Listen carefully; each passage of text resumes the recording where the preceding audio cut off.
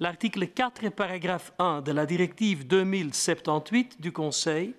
doit être interprété en ce sens que la volonté d'un employeur de tenir compte des souhaits d'un client, de ne plus voir les services du dit employeur assurés par une travailleuse portant un foulard islamique